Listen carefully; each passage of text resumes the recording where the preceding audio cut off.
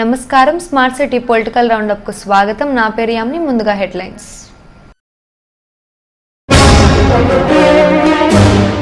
దళితులు కాపుల ఐక్యతతోనే రాజ్యాధికారం సాధ్యం. కాపు ఉద్యమ నేత ముద్రగడ పద్మనాభం. అగ్రిగోల్డ్ ఆస్తులను దోచుకోవడమే టీడీపీ నేతల లక్ష్యం. కాకినాడ రిలే దీక్షలో సీఎంపై ఫైర్ అయిన బీజేపీ ఎమ్మెల్సీ సోమవీర్రాజు.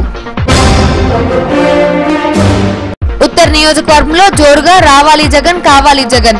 నెలాఖరులోగా ఓటర్ల నమోదు పూర్తి చేయాలన్న ఇన్ఛార్జ్ కేకే రాజు.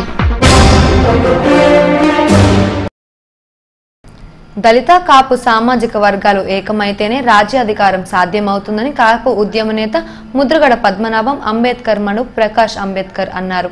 కాకినాడ అంబేద్కర్ భవన్లో నిర్వహించిన దళిత కాపు ఐక్య సదస్సును ముఖ్య అతిథిగా హాజరయ్యారు.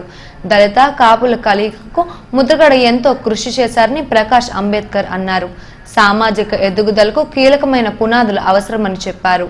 రాష్ట్ర వ్యాప్తంగా ఇలాంటి సదస్సులు అన్ని జిల్లాల్లో జరగాల్సిన అవసరం ఉందని అభిప్రాయపడ్డారు. డెబ్బై ఏళ్ళ స్వాతంత్రంలో దళితులు కాపులు ఇప్పటికీ అవమానాలు ఎదుర్కొంటున్నారని అన్నారు. ఇప్పుడు వచ్చిన చైతన్యాన్ని నూతన మార్పు కోసం ఉపయోగించుకోవాలని మద్రుగుడు పిలుపునిచ్చారు. ఈ కార్యక్రమంలో చింతా మోహన్ దళిత కాపు సంఘాల నాయకులు పాల్గొన్నారు. అమలు చేయలేదు సరిగదా మాకు బదులుగా అవమానాలు ప్రసాదించిన మహానుభావ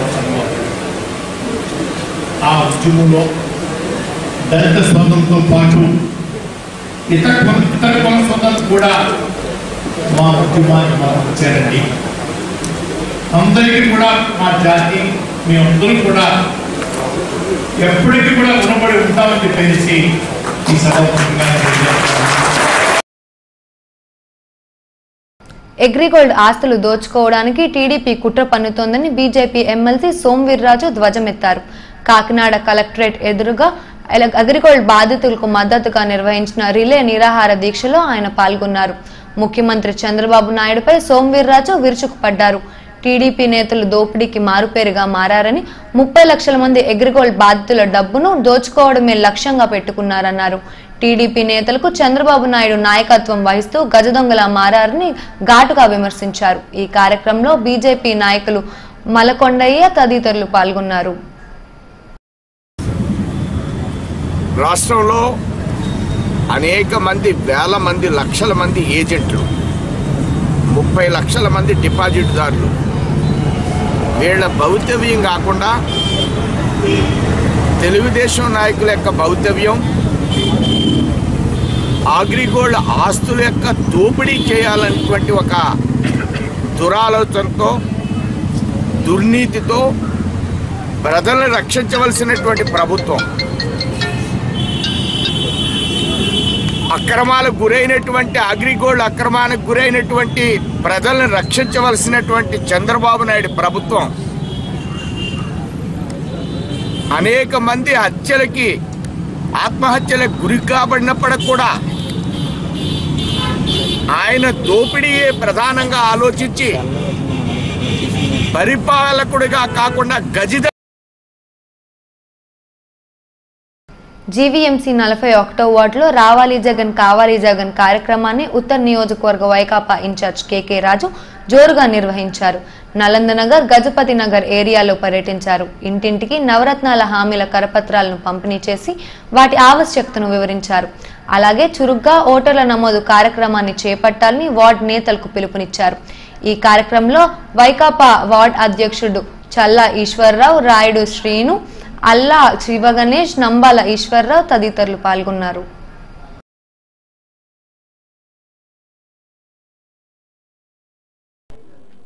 నలభై ఒకటో వార్డులో వార్డు అధ్యక్షులు చల్లా ఈశ్వరరావు గారు అలాగే వైఎస్ఆర్ కాంగ్రెస్ పార్టీ నాయకులు సిటీ స్టేట్ జిల్లా అనుబంధ సంఘాల ప్రెసిడెంట్లు ఆల శివ సభ్యులు ఆల శివ గణేష్ గారు చా నంబాల ఈశ్వరరావు గారు రాయుడి శ్రీనివాసు అలాగే ఈ తదితరులందరూ కూడా లోకల్ కొన్ని బూత్ కన్వీనర్లు అందరూ పాల్గొన్న సందర్భంగా మన రాజన్న కలలగన్న సారథి మన ప్రీతమ నేత వైఎస్ఆర్ కాంగ్రెస్ పార్టీ జాతీయ అధ్యక్షులు శ్రీ జగన్మోహన్ రెడ్డి గారు ప్రకటించిన నవరత్నాల పథకాల్ని ఈ ప్రతి గడప గడపకి కూడా వెళ్ళి ప్రతి మహిళకు ప్రతి అక్కకు ప్రతి చెల్లికి కూడా రావాలి జగన్ కావాలి జగన్ అనే నిదానంతో జగన్మోహన్ రెడ్డి గారు ముఖ్యమంత్రి అయితే ఈ రాష్ట్రంలో ఉన్న ప్రజలకి నవరత్నాల వల్ల ఏ విధమైన లబ్ధి చేకూరుతుంది?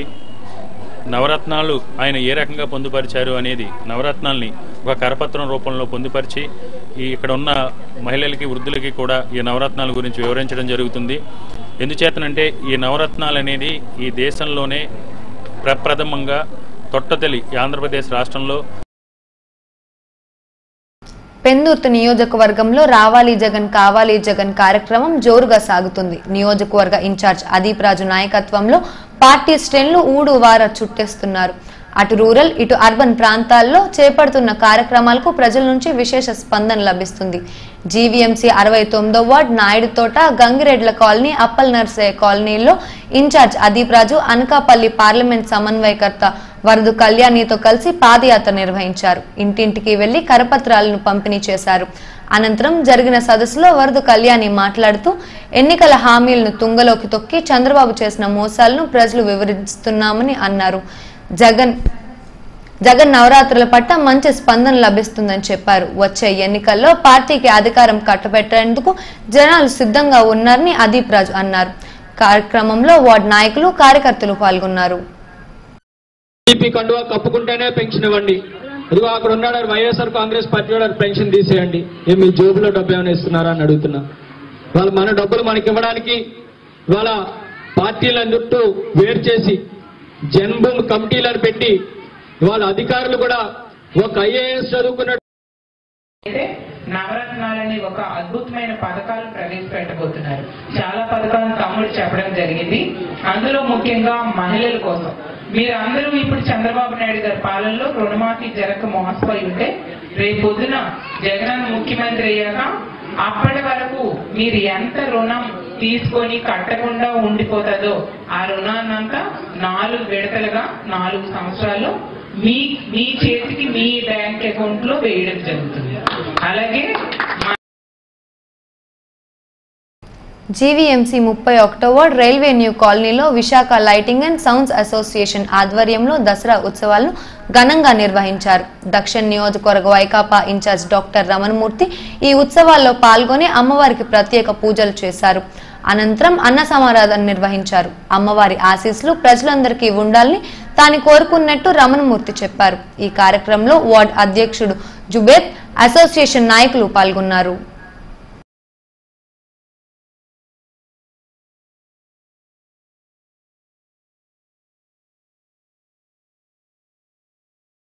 రైల్వే న్యూ కాలనీ ప్రాంతంలో దుర్గామాత అమ్మవారి నవరాత్రోత్సవాల్లో భాగంగా మరి ఈరోజు ఇక్కడ అన్న సమారాధన జరుగుతోంది. విశేషంగా ప్రజానీకం ఇక్కడికి రావడం జరిగింది. అన్యాయం మీద అధర్మం మీద ఎప్పుడు విజయం విజయం సాధిస్తూనే ఉంటుంది. మరి ఈ విజయదశమి సందర్భంగా అందరికీ విజయదశమి శుభాకాంక్షలు తెలియజేస్తూ మరి ఒక ప్రక్క ఓటు కార్యక్రమాలు నిర్వర్తిస్తూ ఓటర్ నమోదు కార్యక్రమాన్ని నిర్విఘ్నంగా సాగిస్తూ మరోవైపు నియోజకవర్గంలో అన్ని ప్రాంతాల్లో కూడా మరి అన్న సమారాధన కార్యక్రమాలు కూడా నిర్వర్తించడం జరుగుతోంది.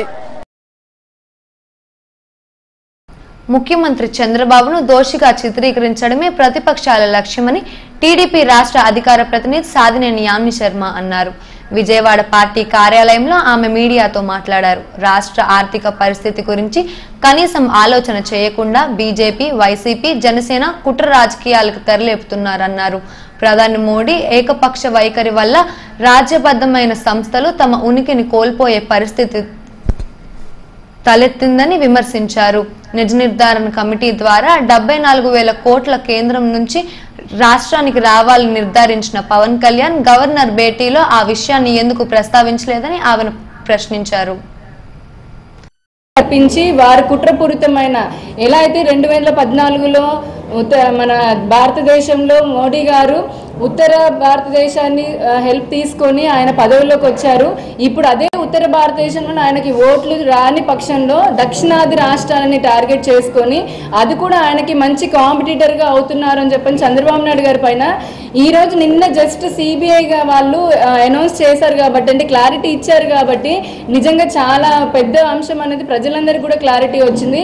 లేకపోతే ఈ రాష్ట్ర ముఖ్యమంత్రి వారికి ఆయన పరిస్థితి ఎలా ఉండేదండి? దేశ ప్రజల ముందు కుట్ర పన్నేసి వాళ్ళు ఈయనని కూడా ఒక దోషిలాగా నించోపెడదాము. అంటే వీరి తెలుగుదేశం పార్టీలో ఉన్న ఎంపీలను కానివ్వండి లేదంటే మినిస్టర్లను కానివ్వండి వీళ్ళందరినీ కూడా దోషులుగా నిలబెట్టేసి ఇక్కడున్న లోకల్ పార్టీ పొలిటికల్ పార్టీ సహాయంతో రాష్ట్ర అభివృద్ధిని అడ్డుకోవాలి. ఎలక్షన్స్ మూమెంట్ వస్తుంది కాబట్టి అడ్డుకోవాలని చెప్పని చూస్తూ రోజుకి వారంలో చూస్తే మీరు మరీ పర్టికులర్గా గమనిస్తే ఒక ఆధారంతో రారు.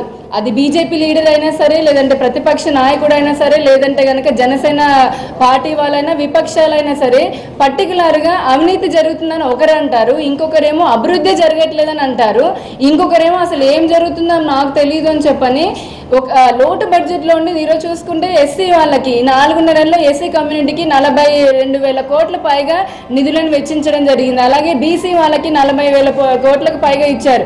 ఎస్టీ వాళ్ళకి ఏడు వేల కోట్లు. అలా అసలు ఇంతకుముందు బ్రాహ్మణ కార్పొరేషన్ బ్రాహ్మణులు కానివ్వండి లేదంటే కనుక కాపులకు కానివ్వండి సపరేట్ కార్పొరేషన్ లేకపోయినా కూడా వాళ్ళకంటూ కార్పొరేషన్లు పెట్టి కాపు కార్పొరేషన్ ద్వారా రెండు వేల నాలుగు వందల కోట్ల రూపాయలని ఈ రోజున కాపు సోదరులందరికీ అందిస్తున్నారు కమ్యూనిటీ వాళ్ళకి.